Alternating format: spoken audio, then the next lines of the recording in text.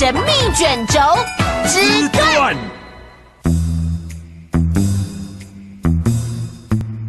松千代老师，我问你，这卷轴里到底写了些什么？嗯好像是把什么东西的制作方法跟其他做事的方法混在一块了呢。我知道了，啊？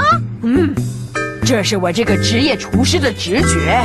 把这上面的文字串联在一起的话，会不会是指把牛奶加入锅子里熬煮，就会做出什么料理呢？那么蟾蜍跟深呼吸的意思呢？用你当忍蛋的直觉想啊，自己想。嗯，用我当老师的直觉想的话，另一份卷轴好像是写着火气跟药的事情，哎，那还有一份呢？是健康体操。对，一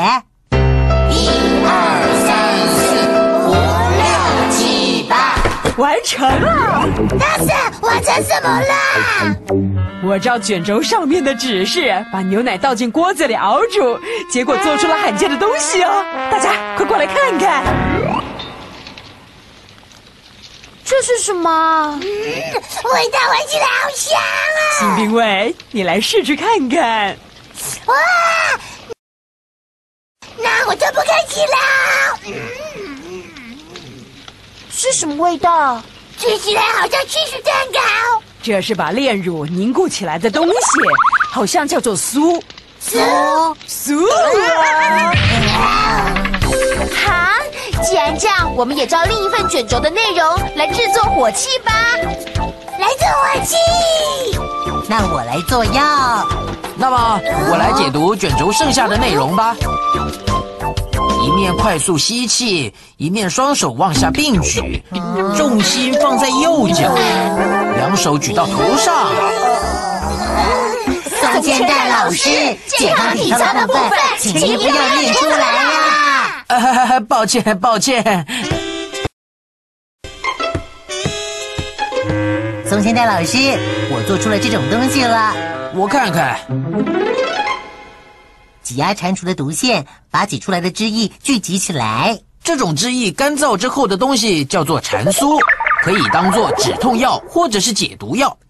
完成了，完成了，完成了，完成了，完成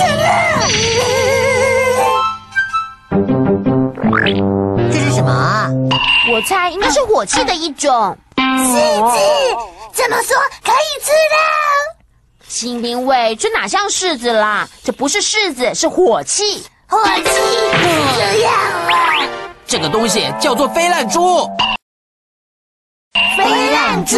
嗯，没听说过那种东西。那那那那个，我来说明好了。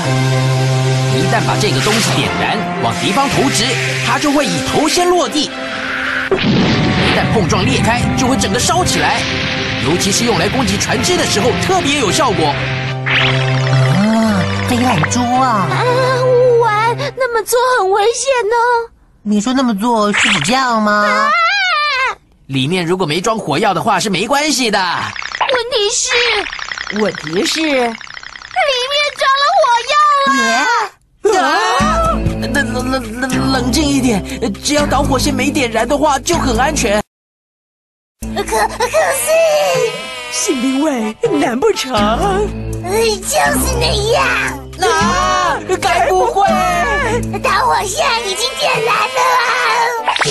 新兵卫，呃讨厌，不要那样看着我，人家会害羞。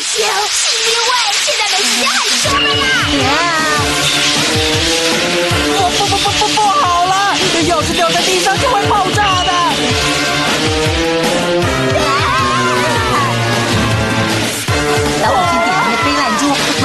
掉下来了啦！不知道还有没有定时可以吃？那要看大婶的，就算没有，他也会设法做点吃的吧。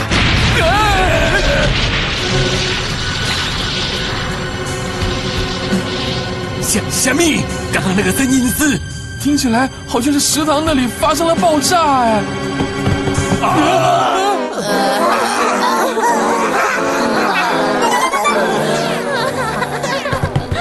基本侠，你坐啊，振作一点，山田老师、东京老师食堂大神，啊，宋千代老师呢？什么？会不会觉得自己要负责任，又跑去躲起来了？在那边，宋千代老师。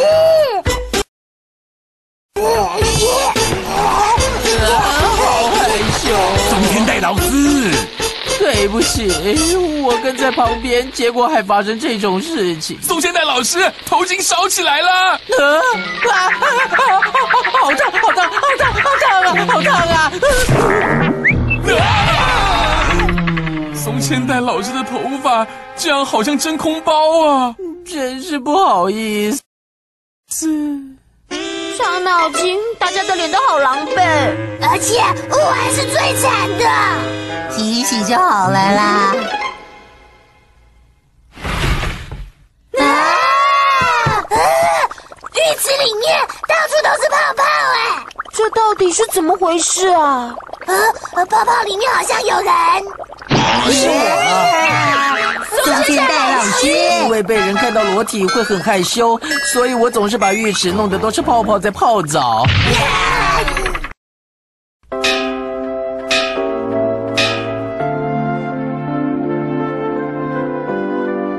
我们也睡吧。嗯，等一下哦。要关灯了。OK，啊，糟糕，我们忘记写土金老师出的作业了。各位回去的作业是《忍蛋之友》第三十二页的问题。作业，今天快累死了，没力气写了啦。我也是哎。可是不写作业的话，三个人都给我留下来课后辅导。乖乖写吧。哎呦，真是的，为什么偏偏在今天要出作业呢？受不了。可是我们几个，只要打开的单子药，马上就会很想吃。真的不行了。